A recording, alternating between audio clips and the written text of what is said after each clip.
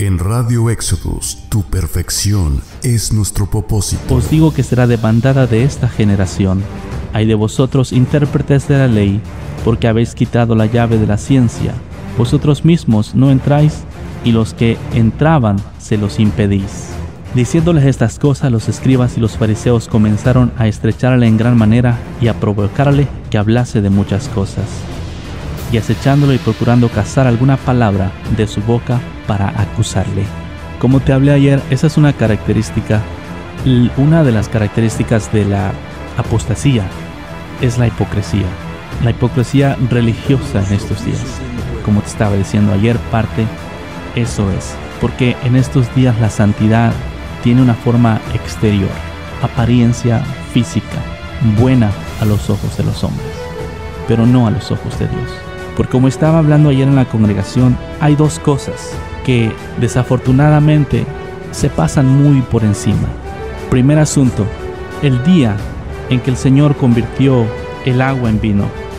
Ese día sucedió algo maravilloso. Ustedes pueden mirar en la Biblia que el Señor hizo que pasaran esas cosas. Entonces, en una ocasión, le pidieron a él que hiciese vino porque no había. Su mamá se lo pidió. Y cuando sucedió eso, llenaron las personas Tú conoces la historia. Llenaron tinajas donde las cuales cabían unos dos o tres cántaros de agua y luego le llevaron la, el agua al maestresala y cuando el maestresala la probó era vino. Entonces eso vino a, a ocasionar algo. En estos días, como te estaba diciendo, la santidad ha venido a quedar como un asunto meramente exterior. Está diciendo Jesús ahí, ustedes los fariseos limpian el vaso y el plato por fuera. Así les dijo, en el libro de Lucas capítulo 11. Les dijo así, limpiáis lo de afuera del vaso y del plato, pero por dentro está lleno de rapacidad y de maldad.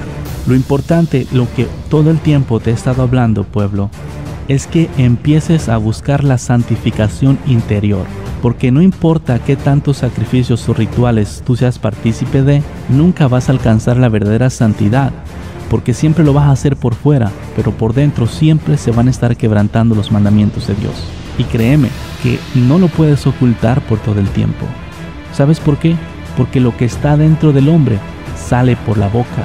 Tú te conoces de qué estás hecho o si realmente verdaderamente sigues a Dios cuando tú hablas.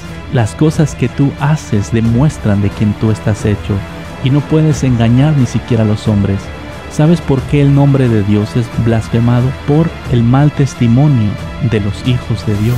Porque se está caminando en una aparente santidad o aparente santidad y al mismo tiempo se están quebrantando los mandamientos. Sí, se tiene como apariencia.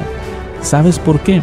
El maestresala dijo al novio, todo mundo saca el mejor vino primero y cuando ya todos hubieron bebido demasiado, saca el otro vino, el vino inferior pero tú has apartado el mejor vino para ahora, al último. Hay dos tipos de vino, como estaba diciendo ayer.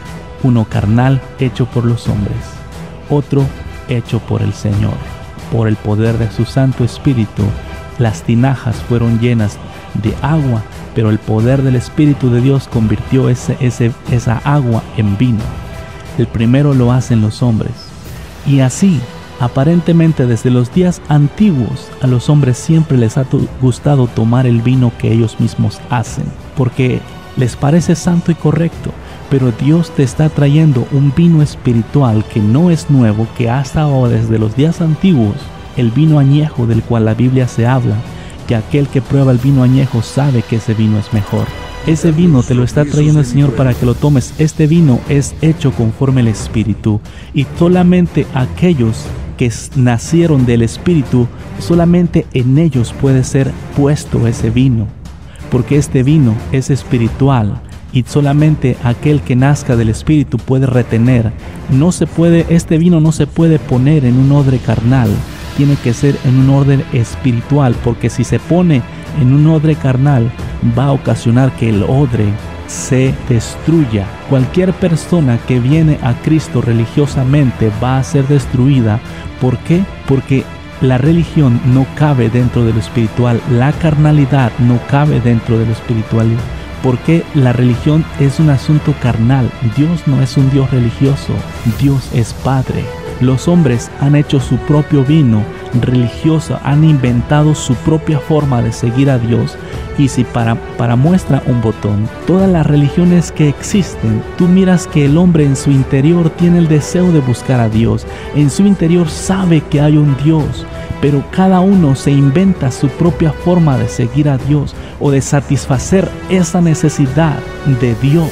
El hombre tiene en su interior esa necesidad de un ser supremo, pero desafortunadamente en lugar de buscar al verdadero Dios, buscan formas y rituales, rudimentos y doctrinas las cuales se establecen a sí mismos para llenar ese vacío.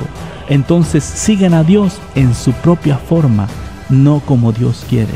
Y por eso toman el propio vino carnal y no el vino espiritual que Dios estableció. Quitando los tropiezos de mi pueblo